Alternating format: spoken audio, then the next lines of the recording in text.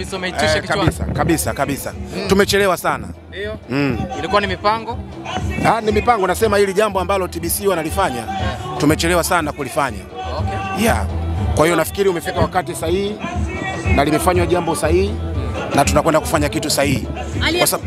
Aliyekuvesha okay, ni Makeke ama ni nani? huyu ni Makeke, sio mtu mwingine. Eh, Makeke ni moja ya mbunifu ambaye watu wengi hawamzingatii sana, lakini wewe mara nyingi umeonekana ukimzingatia katika aina yake ya mavazi. Ni kitu gani unakiona Makeke anacho kuliko wabunifu wengine?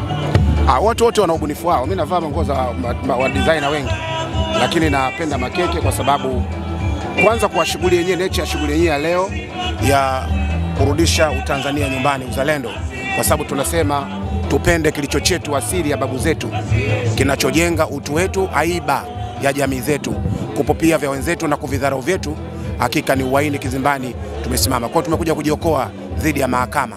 Okay. Ndio Eh, Mjomba, umekuwa ni mtu wa mstari wa mbele sana kuhakikisha kwamba mambo haya ya tamaduni yanakaa kwenye mstari ulionyooka. Ndio. Hem, tupe dodosa kidogo, mwelekeo wake ukoje, labda kwenye nje ya Tanzania?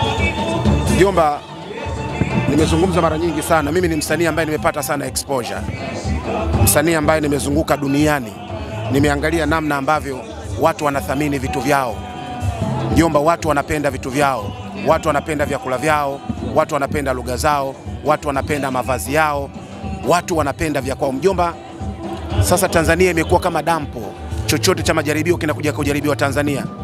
Mjomba, imefika wakati sasa hivi uh, sisemi kwa ubaya, lakini imefika wakati sasa a- mpaka, mpaka filamu tunatafsiriwa jamani, mpaka filamu kweli tunashindwa tuna, sisi kazi yetu kuingiza sauti peke yake, yani hatuna cha kwetu mjomba.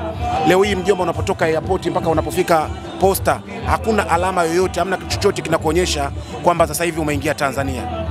Hakuna. Nini kifanyike sasa kuhusiana na hicho? Maana airport Mjomba- watu wanashuka wengi na kupanda wengi. Mjomba, mnaona hiki kinachofanywa na TBC leo, mmeona royo tu waliofanya mama, tunarudisha spirit ya kizalendo mjomba. Okay. Yeah. Mimi na nawapenda. unatembea peku eh? So, so peku peku ni matusi, natembea bila viatu mjomba. Bila viatu. Eh, Speaking of Yupo na timu hapo. niko na timu yangu na kijiji kizima ndio. Eh. Okay, mjomba, turudi kidogo.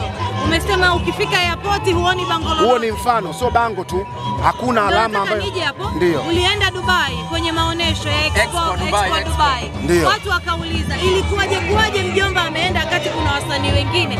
Wengine wakasema kuna mlango wa nyuma mlipita Chongo. wewe Sholomamba pamoja na Sarafina kwenda kwamba huo ni mchongo wa nyinyi kwenda. Mjomba, nyinyi ni waandishi wa habari, nyinyi mna mnaona mnahisi mimi nimependelewa au nilideserve kwenda? Sisi tunataka tujue utaratibu vipi ulitokea mpaka mjomba ukaenda Dubai na mkajaza, maana nasikia mlikuwa mnafanya kazi ya kuwavuta na kuwaleta. Ehe. Mjomba, Dubai anatakiwa kwenda mtu ambaye anawakilisha nchi, so mtu celebrate tu kwa sababu wewe maarufu sana, hauna identity yote ya nchi. Mjomba, unapozungumzia lugha ya Kiswahili hapa ndo nyumbani, unapozungumzia swala zima la utamaduni hapa nyumbani, unapozungumzia mtu ambaye anapenda vitu vya kwao culture hapa nyumbani, kwa nini sio mwakilishi wa nchi? Mjomba, hatuwezi kupeleka mtu ambaye hawezi kuwakilisha nchi. Watu wakilalamika mjomba anaojiwa sana kwenye interview, lakini mjomba anaongea haimbi. Eh, ah! Sasa sasa hao mjomba hao hao mjomba au na- au na siku yao ya kuwajibu, sio leo. Unaongea hawimbi Na siku yao ya kuwajibu mjomba. Kuwajibu. Wajibu kwa kuongea na sio kwa kuimba sasa hivi. Mjomba nawatengea siku yao, nawatengea siku. Mimi nawajua nyinyi mtanibadilishia story. Mbadilishi. Eh bwana, nina kazi ya kwenda kupiga ngoma. kule, mama mniache bwana. Asante mjomba.